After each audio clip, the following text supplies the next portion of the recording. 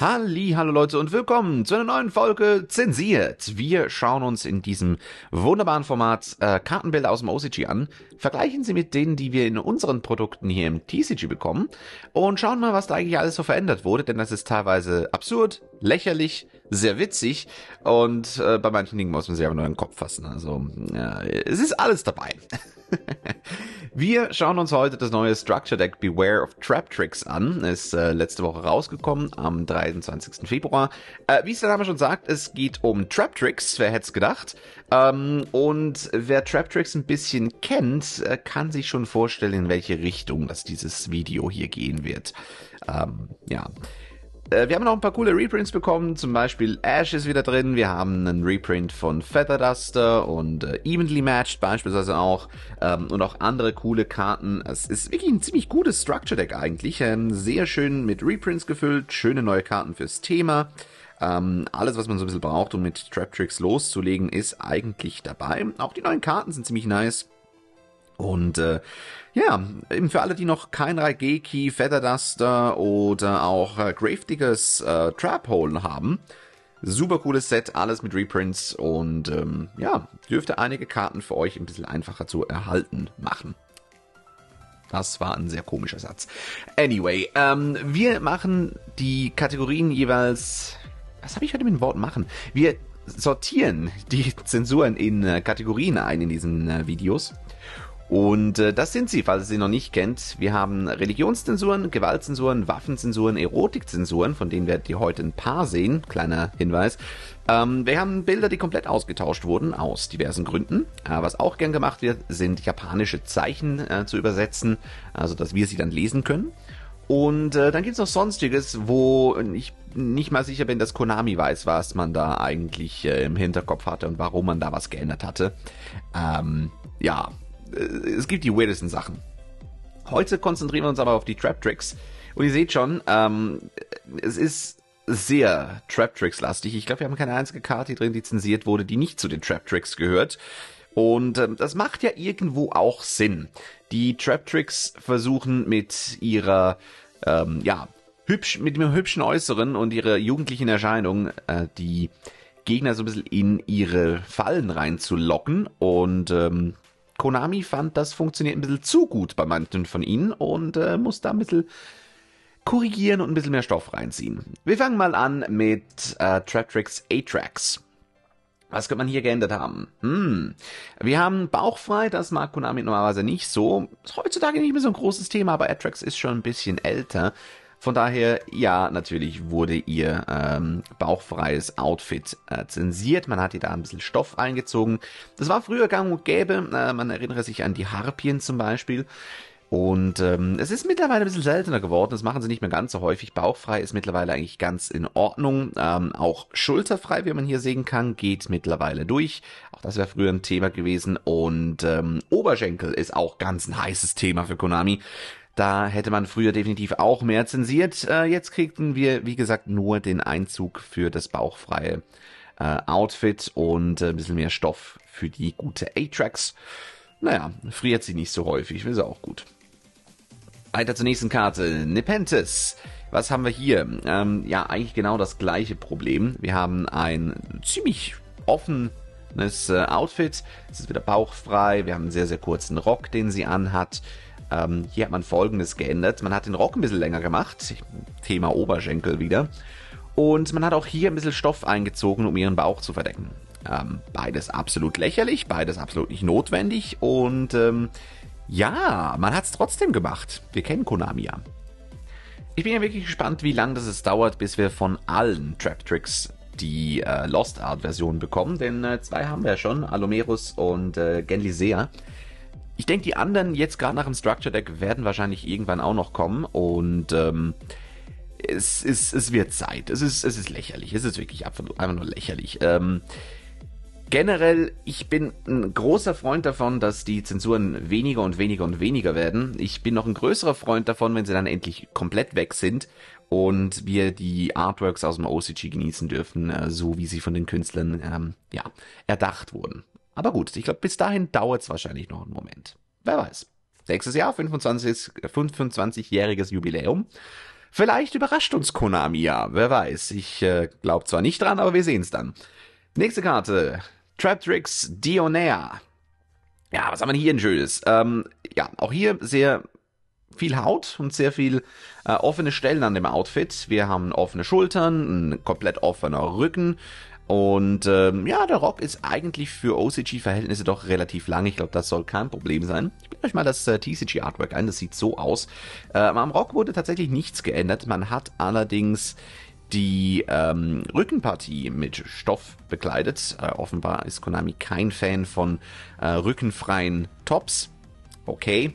Ähm, wie gesagt, ich bin immer noch dafür, dass wir äh, 4Kids und Konami einfach mal kollektiv ins Schwimmbad schicken und äh, schauen, wie ihre Köpfe explodieren. Aber hey, das ist nur ein Vorschlag für ein nettes kleines Team-Event. Machen wir weiter. Fallenstellerin Genli Sea, die wie gesagt eine Lost Art Version bekommen hat, die könnt ihr also genauso auch im TCG spielen, wenn ihr Lust habt. Ähm, wie wurde sie denn ursprünglich zensiert bei uns? Wie sieht sie bei uns aus? Es ist, ähm, ja, sehr interessant, kann man sagen. Ähm, eine Zensur, die sehe ich, ne, das ist so ein bisschen in, in guter Konami-Fashion. Und zwar hat man ihr unter ihre, ähm, unter ihr Oberteil, das die Brüste bedeckt, noch einen, ja, zusätzlichen braunen Stoff eingezogen, der so ein bisschen wie ein, ja, BH, Sport-BH wirkt, so in die Richtung. Äh, ist ein bisschen weird, passt nicht wirklich zum restlichen Outfit. Ich meine, sie hat unten an den äh, Beinen diese Riemen. Äh, man hat da den ähnlichen Stoff genommen. Okay. Es sieht aber alles in allem ein bisschen komisch aus. Was man auch gemacht hat, ist, man hat unten noch weiter Stoff eingezogen. Und zwar an einer absolut weirden Stelle, was ich absolut nicht verstehe. Und zwar geht's da dieses ähm, Dreieck, was wir auf beiden Artworks haben, was den Rücken bedeckt. Und im TCG Artwork haben wir unten ein weiteres kleines Stoffband, was von unten hochkommt und ein einfach random Teil ihrer Hüfte bedeckt.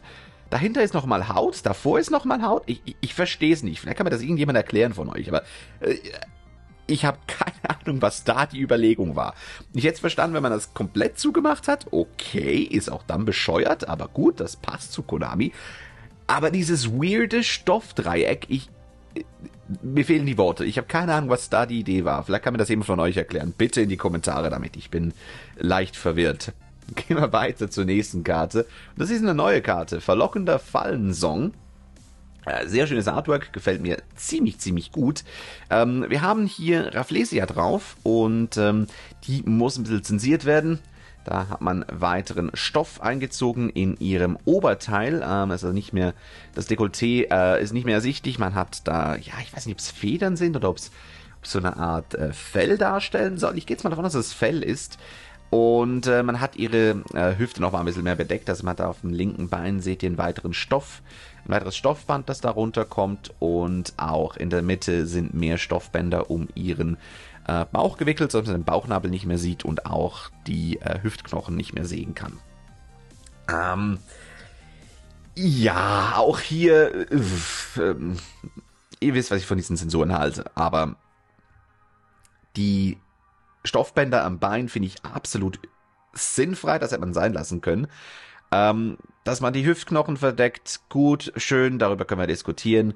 Äh, dieses komische Fellding zwischen ihren Brüsten ist auch sehr, sehr weird. Aber das, das, was mich am meisten stört, ist wirklich dieses komische einzelne Stoffband, was sie da links in ihrem Bein noch eingezogen haben. Aber hey, okay, Konami wie Konami.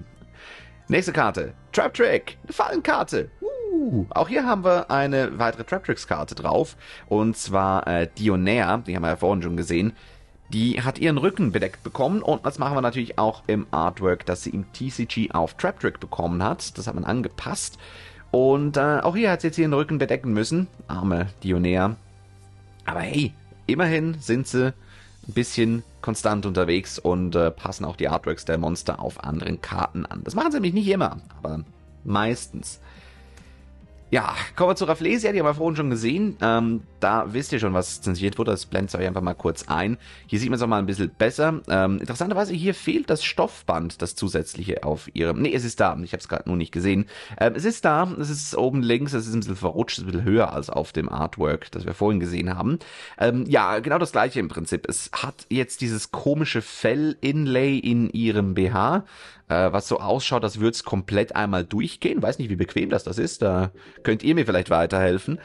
Aber ähm, es ist ähm, ein interessantes Design, kann man doch sagen. Ähm, lustigerweise, ich bin nicht sicher, ob das eine Schattierung ist, die man da sehen kann, oder ob es wirklich der Hüftknochen ist, den sie vergessen haben zu ummanteln. Ähm, ganz rechts an ihrer rechten Hüfte ist äh, dieses Stoffband, was von oben runterkommt und dann wieder nach hinten geht.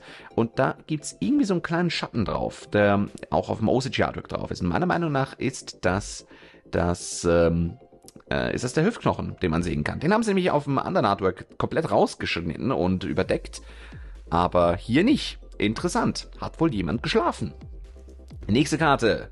Alumeros. Ah, richtig cooles Artwork. Ich liebe das Artwork dieser Karte. Super cooles Outfit. Es ist super nice gemacht mit den zwei anderen Trap Tricks noch im Hintergrund. Ähm, wirklich, wirklich nice. Was hat man hier wohl angepasst? Naja, bei uns sieht die Karte so aus, wenn ihr sie nicht in Lost Art kauft. Ähm, man hat mehr Stoff eingezogen in ihrem Oberteil, man hat die Brüste ein bisschen besser bedeckt und ähm, ja, den Rock länger gemacht, wie man das so kennt. Ist das notwendig? Nein, das ist nicht notwendig. Es ist bescheuert, das ist absolut kindisch. Aber man hat es trotzdem gemacht und ähm, ja, Ihr könnt sie aber als Lost Art Promo spielen und äh, das Original OCG Artwork genießen. Es ist nämlich wirklich einfach stimmig. Ich finde, es sieht gut aus. Es ist nicht übertrieben freizügig, es sieht einfach nur wirklich gut aus. Gut, nächste Karte ist äh, Pinguicula. Ich hoffe, ich spreche das richtig aus. Und hier haben wir ein paar interessante Sachen. Ähm, ich hätte schwören können, dass sie der Karte eine andere Pose verpassen. Ähm, denn ich glaube, das ist die einzige Karte, die mir gerade so einfällt, wo das Monster, das abgebildet ist, ihre Hand auf ihren Brüsten hat. Ich hätte gedacht, Konami kriegt einen kompletten Herzinfarkt, wenn sie das importieren müssen und äh, zensiert das weg. Das haben sie tatsächlich nicht getan. Die Karte sieht bei uns so aus, die Hände bleiben, wo sie sind. Was man getan hat, ist, man hat bei der linken ähm, Brust von unserer Seite aus gesehen, eigentlich von ihr aus gesehen die rechte, ähm, hat man die, äh, das Dekolleté, also quasi die, äh, die, die Schattierung weggenommen. Und äh, das Ganze sieht jetzt, ja, irgendwie ein bisschen komisch aus und macht irgendwie einen sehr flachen Eindruck von oben betrachtet, ist aber von vorne immer noch die, das gleiche Volumen. Also irgendwie geht das absolut hinten und vorne nicht auf. Ähm, interessanterweise, Pinguicula durfte ihren Bauchnabel behalten. Auch schön. Durften andere Karten nicht. Ähm, was hat man sonst noch gemacht? Äh, eigentlich nicht mehr so wahnsinnig viel. Interessanterweise habt ihr im Hintergrund noch Genlisea stehen. Ja, das ist die Karte, die wir vorhin gesehen haben, mit den äh, zusätzlich eingezogenen Stoffbändern äh, einmal unter ihrem äh, Oberteil und einmal diesen komischen, dieses komische Stoffdreieck, bei dem ich keine Ahnung habe, was es eigentlich sein soll. Ähm, die steht im Hintergrund da aufrecht hinter diesem Schmetterling und bei der Blume. Ihr seht sie wahrscheinlich. Ähm, interessanterweise, die wurde nicht an ihr oh, äh, TCG Artwork angepasst. Die hat man unzensiert auf dieses Artwork hier drauf geklatscht. Ich weiß nicht, ob Konami das absichtlich gemacht hat oder ob sie einfach eine neue Brille brauchen. Ähm, oder ob das hier irgendwie Protest von einem der äh, 4Kids-Mitarbeiter ist, der sagt, hey, ähm, jetzt ist mal gut, ich verstehe die Zensierung selber nicht, also ähm, schauen wir mal, wie weit wir damit gehen können. Keine Ahnung, wie das zustande gekommen ist, aber wir haben das unzensierte Artwork von Genli Sea äh, im Hintergrund stehen, was ich äh, irgendwie ziemlich witzig finde. Nächste Karte ist Fallenstellerin Mantis, auch ein richtig cooles Artwork. Ich mag die Farben von ihrem Outfit, das sind ziemlich, ziemlich cool gemacht. Und äh, ja, was haben wir hier denn Schönes zensiert? Ähm, es geht um was super, super winziges. Ich hätte gedacht, man hätte ihr wahrscheinlich mehr Stoff um die Beine ähm, spendiert. Ihr Oberteil ist schon ziemlich äh, verdeckend, da sieht man nicht wahnsinnig viel. Äh, das passt für Konami, Konami also schon mal ganz gut. Äh, bei uns sieht die Karte so aus. Vielleicht seht ihr die Unterschiede schon. Nein? Äh, es ist auch nicht wahnsinnig viel. Es ist, äh, wenn ihr mal auf ihren Bauch schaut, da hat sie so eine Art Fliege bekommen, respektive der Saum von ihrem äh, Rock oder von ihrem Unterteil ist einfach ein bisschen nach oben gerutscht und ein bisschen größer geworden, um keine Ahnung, mehr von ihrem Bauch zu bedecken. Man, man sieht nicht mal einen Bauchnabel auf dem, auf dem OCG Artwork. Nicht, dass Bauchnäbel irgendwie was Schlimmes wären, aber äh, Konami denkt das offenbar. Ähm, normalerweise zensieren sie die raus, aber Mantis hat gar keinen, äh, zumindest keinen sichtbaren hier auf dem Artwork. Und trotzdem hat man den äh, Stoff hochgezogen. Muss ich nicht verstehen, will ich nicht verstehen, ist aber so. Ja, äh, das sind sie, die zehn Zensuren im Structure Deck Beware of Trap Tricks. Und äh, wir müssen die jetzt noch sortieren. Ich weiß nicht, wie ich das zustande äh, bekommen soll. Es ist so viel verschiedene Zensuren hier drin. Äh, nein, es sind alles Erotik-Zensuren. Ja, ähm, war irgendwie klar, dass hier in äh, dem Trap Trick Structure Deck eigentlich nichts anderes passieren kann, oder? Oder hat jemand von euch noch was anderes erwartet? Ich nicht. Ja, das war's von Zensiert für heute. Vielen, vielen Dank, dass ihr dabei wart. Ich hoffe, es hat euch Spaß gemacht. Mir hat's riesen Spaß gemacht.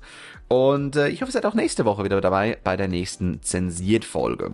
Wenn es euch gefallen hat, lasst ein Like und ein Abo da, würde mich sehr freuen. Und vielen Dank auch an unsere Patreon-Supporter, die ihr gerade auf dem Bildschirm sehen könnt. Danke für eure Unterstützung. Wenn ihr Patreon-Supporter werden wollt und ein paar Perks bekommen wollt dafür, Link ist natürlich in der Videobeschreibung. Ihr findet in der Videobeschreibung auch den Link zu den restlichen Zensiert-Folgen. Wir haben schon über 100 Folgen hinter uns und ähm, es werden mehr und mehr und mehr. Solange Konami nicht aufhört, Karten zu zensieren, höre ich nicht auf, mich darüber lustig zu machen. Also seid auch das nächste Mal wieder dabei. Habt einen schönen Tag und ciao Leute.